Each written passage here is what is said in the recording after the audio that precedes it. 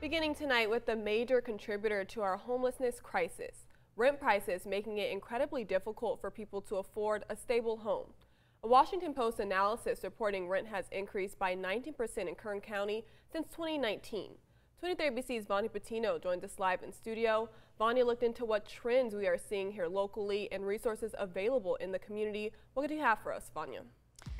That's right, Brianna. So the median rent in Kern County is based on Rent Cafe, a nationwide apartment listing service, and it's about $1,300. So we sought out to see what our viewers were facing in terms of this rent increase, and we saw that some of the responses through our Facebook forum were that, like, for example, this lady saying that her rent has increased from $100 and $160 in the past two years.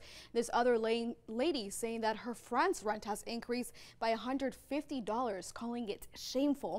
This other person saying that her rent, she used to pay 30 her landlord, sorry, wants her to pay $3,200 and currently they're paying $1,900. So these are just a couple of the stories, but there are so many others across Kern County that we're seeing.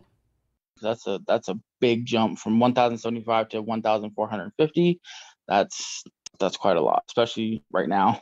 Patrick Johnson, a Bakersfield native, lives with his kids, wife, and his mother-in-law. This increase happened in April and has had a large impact on their spending ability. We're budgeting tighter, um, you know, um, not really eating out, just saving our money, every little bit of our money that we actually have. You know what I mean?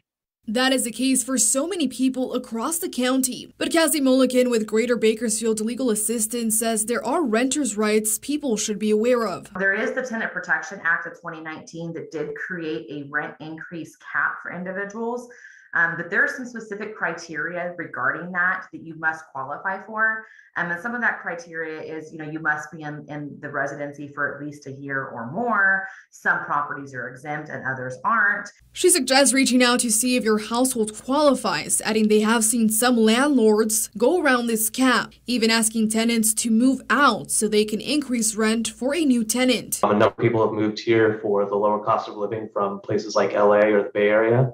That means that you know people who lived here before are having to cope with the the higher income uh, earners who are competing for the same units that people who already lived here on average, he explains a healthy market will have a 4 to 5% vacancy rate.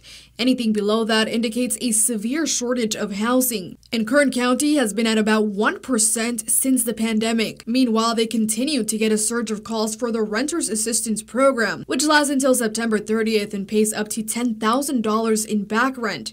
It covers Kern, including unincorporated areas. Sharples adds this increase in rent costs plus the low affordability home rates is undeniably tied to the homelessness crisis the county is already dealing with. Each person we're able to prevent from entering homelessness saves uh, local agencies about $30,000 a year.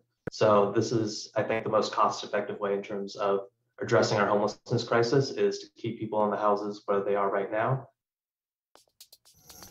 now, he says that is why rental assistance programs like the ones through CAPK and the Housing Authority are so important. Now, the CAPK team will be out in Ridgecrest tomorrow to help the desert communities fill out some of those applications. And that version, as well as there it is.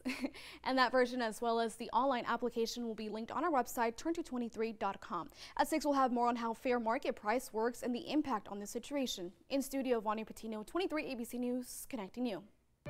Thank you, Vanya. And California has the fourth highest rent in the country out of all 56 American states and territories. We took an in-depth look at fair market rent prices for the state and for several counties, including Kern, to see just how high prices have climbed. But first, a look at the current renting situation and how fair market pricing works. According to rentdata.org, approximately 15% of Americans qualify for some, some level of housing assistance.